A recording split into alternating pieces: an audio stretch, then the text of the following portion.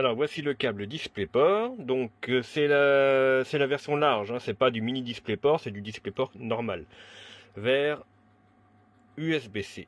Voici la prise. Voici. Oh, pas évident de faire. Voilà, USB-C.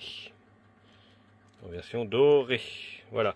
Euh, premier truc, bon, alors le câble n'est pas tissé. Bon, c'est vrai que maintenant la tendance du moment, ça va faire des câbles tissés avec des, renforts à ce niveau-là. Donc c'est un câble standard, je veux dire, à ce niveau-là.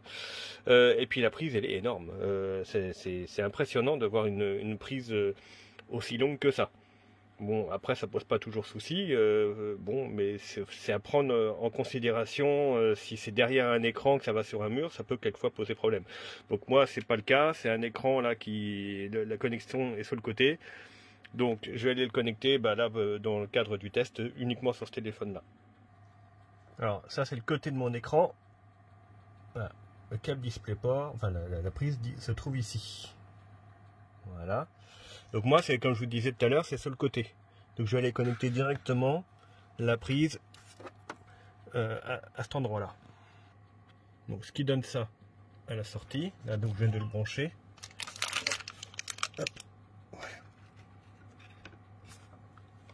Bah tiens, puisque je l'ai devant, euh, la norme, c'est du DisplayPort 1.4, câble compatible en 8K.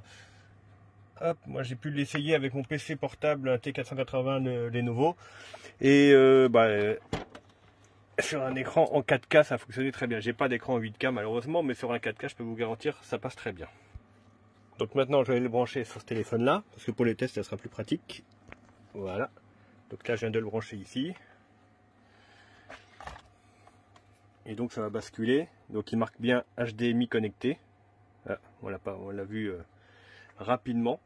Et donc l'écran va, basculer automatiquement. Voilà, ça a basculé. Donc ça, là on voit, euh, comme c'est un téléphone Samsung, euh, c'est le mode DeX, donc c'est le mode, c'est le mode bureau du téléphone qui apparaît directement là. Donc l'avantage de ce câble, par contre, c'est qu'il est, vraiment long. Ça, c'est appréciable. On peut manipuler assez facilement, que ce soit un PC ou un téléphone. Et puis, bah, j'ai rencontré aucun souci dessus.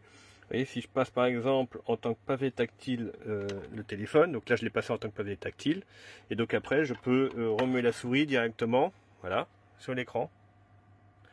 Et je peux aller cliquer directement sur les, fonctions euh, du téléphone, euh, aller euh, faire du Word, etc. Enfin, euh, des, comment s'appelle, lancer des applications et autres. Il n'y a pas de souci là-dessus.